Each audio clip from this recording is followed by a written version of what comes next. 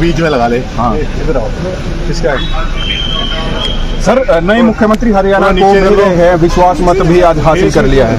क्या कहेंगे? अरे देखिए विश्वास मत तो पहले ही हमारे पक्ष में था और हमारे पास पूरा नंबर था। विश्वास मत के लिए अ, लेकिन क्योंकि नए मुख्यमंत्री बने थे और गवर्नर साहब का जिस प्रकार से आदेश था। तो हमने सेशन को बुलाया और आज सेशन के सामने उस तरफ़ कर लो क्योंकि का महत्व है जब वो फ्लोर ऑफ़ द हाउस हो। और आज वो फ्लोर पे जिस प्रकार से विश्वास का मत लिया गया तो मैं माननीय मुख्यमंत्री जी को इसके लिए बधाई हूँ। मुख्यमंत्री ने अपनी करनाल सीट से भी इस्तीफा दे दिया। आप कह रहे हैं नायब सैनी तो आप इसको किस तरीके से आप लगातार कह रहे थे कि त्याग दिया त्याग किया है। हाँ बिल्कुल त्याग है। कल भी माननीय मुख्यमंत्री जी जिस प्रकार की बात कर रहे थे लेकिन वो केवल बातचीत थी वैसे बातचीत थी।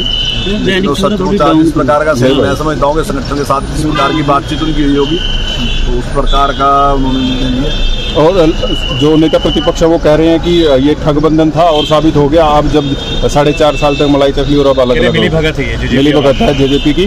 और इसीलिए हमने जोरदार तरीके से ये बात कही। मैं पहला पहली बार नहीं कहा हमने बार बार ये नीचे कर लो हमारी जो हमारा गठबंधन था वो केवल सरकार चलाने के लिए गठबंधन था चुनाव लड़ने का गठबंधन हमने पहले किया था। कितनी बार आपने बात पूछी हर बारी ही बात आपसे की और अब क्योंकि चुनाव था तो वो अपना चुनाव अपने तरीके से लड़ेंगे अपना चुनाव तो ये मतलब परिस्थिति नहीं प्रदेश की जनता के साथ धोखा नहीं हुआ? नहीं कोई धोखा नहीं है जनता के जनता ने जो विश्वास मत दिया उनको दस लोग दिए मैं चालीस लोग दिए थे अब इकतालीस साहब तो उसके बाद जनता ने जितना जो मत प्रतिशत दिया गया उसके हिसाब से मैंने बातचीत की गई और कॉमन मिनिमम प्रोग्राम बना के हमने जनता की सेवा की।